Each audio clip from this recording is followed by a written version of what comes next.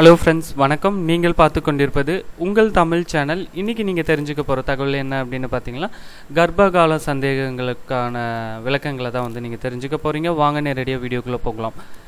நமக்கு வந்து கர்ப்ப காலத்தில் ஏற்படுற சந்தேகங்களுக்கு விளக்கங்கள் தெரிஞ்சிருச்சு அப்படின்னாலே வந்து பாதி பிரச்சனை இல்லாமல் வந்து நிம்மதியாக வந்து கர்ப்ப காலத்தை வந்து கடக்க முடியும் அப்படின்றது என்னோட எண்ணம். அதனால தான் வந்து இந்த மாதிரி வீடியோக்களை வந்து நம்ம ஷேர் பண்ணுறோம் அது மட்டும் இல்லாமல் வந்து நம்ம சேனலில் வந்து கர்ப்பகாலம் சம்மந்தப்பட்ட ஏகப்பட்ட வீடியோக்களை வந்து ஷேர் பண்ணியிருக்கோம். பார்க்காதவங்க வந்து கட்டாயம் எல்லா வீடியோக்களையும் வந்து பாருங்கள் அது மட்டும் இல்லாமல் உங்களுடைய சந்தேகங்களையும் வந்து மறக்காமல் வந்து கமெண்ட் பண்ணுங்கள் உங்களுடைய கருத்துக்களையும் வந்து ஷேர் பண்ணுங்கள் அது மற்றவங்களுக்கு உபயோகமாக இருக்கும். சரி.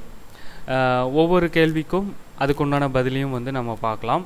ஒருத்தவங்க கேட்டிருந்தாங்க என்ன அப்படின்னு பார்த்தீங்களா? வந்து அவங்களுக்கு வந்து இப்போ ஐந்து மாதம் வந்து நடைபெற்றுட்டு இருக்குது அவங்களுக்கு வந்து அடி வயிற்றில் வந்து வலி இருக்குது அப்பப்போ வந்துட்டு இருக்குது அப்படின்ற மாதிரி சொல்லிட்டு இருக்காங்க. இந்த அடி வயிற்று வலி அப்படின்றது வந்து சாதாரணமாக வந்து கர்ப்ப காலத்தில் வந்து அனைத்து பெண்களுமே வந்து ஃபேஸ் பண்ணுற ஒரு விஷயம்தான்.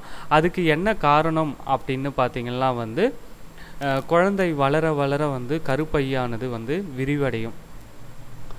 அது மட்டும் இல்லாமல் வந்து அசைவு குழந்தையோட அசைவு தெரியும் போதெல்லாம் வந்து அடி வயிற்றில் வந்து ஒரு சிறு வலி வந்து ஏற்படுறது வந்து சகஜம்தான். இதனால் வந்து எந்தவித பயமும் வந்து அஹ், கொள்ள வேண்டாம். இதுக்கு வந்து அஹ், இந்த வலியை வந்து நம்ம தவிர்க்க முடியாது.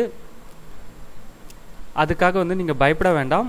கடுமையான வயிற்று வலி அப்படின்னா மட்டும் வந்து நீங்கள் மருத்துவர்கிட்ட போகலாம். அடுத்து கர்ப்ப காலத்தில் வந்து கால்கள்லாம் வந்து வீக்கமாக இருக்கும். ஒரு சிலருக்கு வந்து கொஞ்சம் மீடியமாக வந்து வீங்கியிருக்கும். ஒரு சிலருக்குலாம் பார்த்தோம் அப்படின்னா வந்து ரொம்பவே வந்து நிறைய வீங்கியிருக்கும். ஆக்சுவலாக வந்து இதுக்கு என்ன காரணம் அப்படின்னு பார்த்தீங்கன்னா வந்து கர்ப்ப காலத்தில் வந்து கால்களில் இருந்து இதயத்துக்கு வந்து போகிற ரத்தம் வந்து ஆக்சிஜன் இல்லா ரத்தம் வந்து இதயத்துக்கு போகும். அந்த சமயத்தில் வந்து குழந்தையோட வளர்ச்சி காரணமாக வந்து இந்த செயல் வந்து தடைபடும். எங்கள் காலில் இருந்து போகிற ரத்தம் அதாவது இதயத்துக்கு போகிற ரத்தம். ஸோ இந்த மாதிரி வந்து தடைப தடைபடுறதுனால ரத்த நாளங்களில் வந்து தேக்கம் வந்து ஏற்படுது.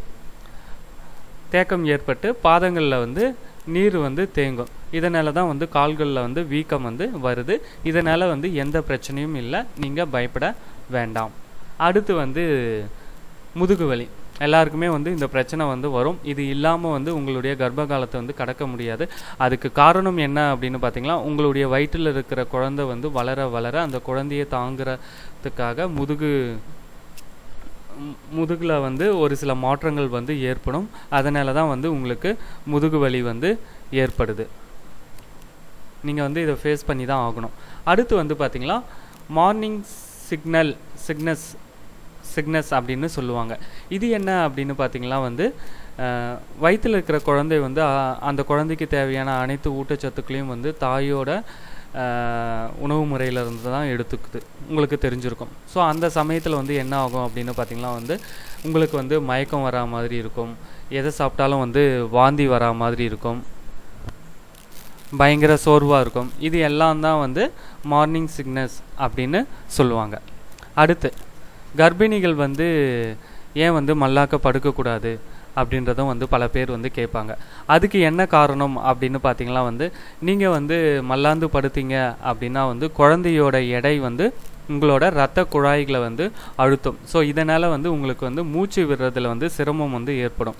ஸோ நீங்கள் மூச்சு விடுறதுல சிரமம் ஏற்பட்டால் உங்கள் வயிற்றில் இருக்கிற குழந்தைக்கும் வந்து அது பாதிக்கும். அதனால தான் வந்து கர்ப்பிணிகள் வந்து மல்லாந்து படுக்கக்கூடாது ஒரு கழித்து படுக்கணும் அப்படின்னு சொல்கிறாங்க ஸோ இதுக்கு உண்டான விளக்கத்தை வந்து தெரிஞ்சுட்டு இருப்பீங்க. இதுக்கப்புறம் வந்து நீங்கள் மல்லாந்து படுக்க மாட்டீங்க அப்படின்னு நினைக்கிறேன். அடுத்து கர்ப்பிணிகள் வந்து உடற்பயிற்சி செய்யலாமா அப்படின்றது. கடுமையான உடற்பயிற்சிகளை வந்து கட்டாயம் வந்து செய்யக்கூடாது. அது மட்டும் இல்லாமல் வந்து புதிதாக உடற்பயிற்சியில் வந்து ஈடுபடுறீங்க அப்படின்னா கட்டாயம் வந்து மருத்துவர்களோட ஆலோசனை இல்லாமல் அந்த விஷயத்தை வந்து நீங்கள் பண்ணக்கூடாது.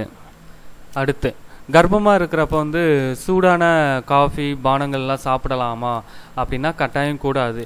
என்ன காரணம் அப்படின்னு பார்த்தீங்கன்னா வந்து நீங்கள் சூடாக குடிக்கிற ஒரு உணவு வந்து உங்களுடைய உணவு குழாய் வந்து பாதிக்கப்பட்டு அல்சர் வர்றதுக்கு வந்து பிரச்சனைகள் இருக்குது அதனால தான் வந்து சூடான பொருட்களை வந்து சாப்பிடக்கூடாது அப்படின்னு மருத்துவர்கள் வந்து சொல்கிறாங்க அடுத்து கர்ப்ப காலத்தில் வந்து அடிக்கடி சளி இருமல் வந்து ஏன் வருது அப்படின்னு நீங்கள் கேட்கலாம். இதுக்கு வந்து என்ன காரணம் அப்படின்னு பார்த்தீங்கன்னா வந்து உங்கள் உடம்புல ஏற்படுற நீர் வறட்சியை சமாளிக்க உங்கள் மனசு வந்து குளிர்ச்சியான பொருட்களை வந்து தேடும். அதனால் வந்து நீங்கள் கூல் ட்ரிங்க்ஸு ஸோ அந்த மாதிரி வந்து குளிர்ச்சியான பொருட்களை சாப்பிட்றதுனால வந்து உங்களுக்கு கோல்டு வந்து அட்டாக் ஆகுது. கர்ப்ப காலத்தில் வந்து சளி இருமல் இல்லாமல் பார்த்துக்கிறது வந்து ரொம்ப ரொம்ப முக்கியம். அது மட்டும் இல்லாமல் வந்து தண்ணீர் வந்து நிறைய குடிக்கணும். ஸோ அதனால தான் வந்து டாக்டர் வந்து உங்களுக்கு பரிந்துரை செய்கிறாங்க அடுத்து கர்ப்ப காலத்தில் வந்து நம்ம உடம்புல வந்து திடீர்னு வந்து சர்க்கரையோட அளவு அப்படி இல்லைன்னா வந்து உப்போட அளவு வந்து அதிகமாகும். அதுக்கு என்ன காரணம் அப்படின்னு பார்த்தீங்கன்னா வந்து ஒன்று வந்து உங்களோட உடல் பருமன் வந்து அதுக்கு காரணமாக இருக்கலாம்.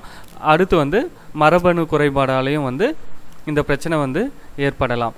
ஸோ இந்த பிரச்சனைகள் ஏற்பட்டுச்சு அப்படின்னா வந்து உங்களுக்கு குறைப்பிரசவம் ஏற்பட வாய்ப்புகள் இருக்குது அது மட்டும் இல்லாமல் வந்து குழந்தை இருக்கிறதுக்கும் சில சமயங்களில் வந்து வாய்ப்புகள் இருக்குது அடுத்து கார்போஹைட்ரேட் உணவுகள் முக்கியமா இல்லை புரத உணவுகள் முக்கியமா அப்படின்ற கேள்வி எழலாம். கண்டிப்பாக வந்து ரெண்டு உணவுகளுமே வந்து முக்கியம். ஸோ சரிசமமாக வந்து உணவுகளை வந்து எடு- எடுத்துக்கணும். அது மட்டும் இல்லாமல் வந்து ஆரோக்கியமான கீரை வகைகள் பழங்கள் பால் ஆரோக்கிய உணவை வந்து கட்டாயம் வந்து நீங்கள் ஃபாலோ பண்ணுறது வந்து மிக மிக ஒரு முக்கியமான ஒரு விஷயம்.